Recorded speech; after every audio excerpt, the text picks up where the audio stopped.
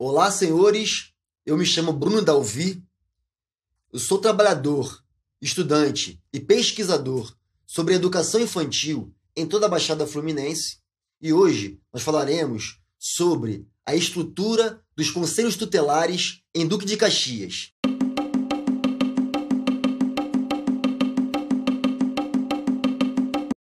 Duque de Caxias é uma das 13 cidades da Baixada Fluminense. É a mais populosa e a mais rica também. Duque de Caxias possui seis unidades de conselhos tutelares. Cada uma delas possui cinco conselheiros tutelares eleitos pela comunidade e também uma equipe para o seu funcionamento. Essa equipe é destinada pelo município através da Secretaria de Assistência Social, através do CMDCA da cidade, ou seja, o Conselho Municipal dos Direitos da Criança e do Adolescente. O Conselho Tutelar, ele atua na garantia de direitos adquiridos das crianças e dos adolescentes. O Conselho Tutelar é uma resposta à Lei Federal de número 8069 e a resolução Conanda nos instrui quanto ao a criação e o funcionamento destes conselhos, com também diretriz no ECA, o Estatuto da Criança e do Adolescente. A resolução Conanda preconiza sobre a criação e o funcionamento dos conselhos tutelares em todo o Brasil. Saiba que em todos os municípios do Brasil terá pelo menos um conselho tutelar, aumentando assim a cada 100 mil habitantes. Ou seja, uma cidade de 500 mil habitantes deverá ter cinco conselhos tutelares. Duque de Caxias possui atualmente uma média de 1 milhão de habitantes.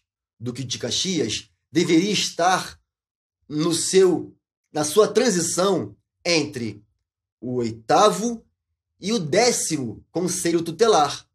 No entanto, neste momento, nós temos apenas seis funcionando. Não preciso dizer que esses seis conselhos estão sobrecarregados, dado a demanda de serviços.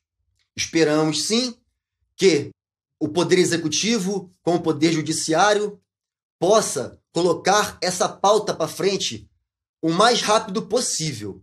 Quero dizer também que essa linha de vídeos que estamos fazendo não é para constranger a administração nem administradores do presente ou do passado. A minha missão é transformar o debate vagas em creches e alcance ao direito popular em toda a Baixada Fluminense.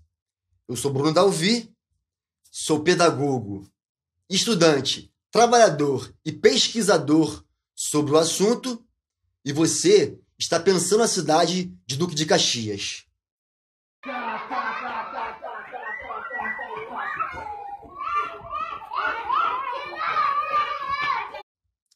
E se esse tema também te comove, se esse tema te interessa, interaja com o nosso vídeo, compartilhe, fale com seus amigos.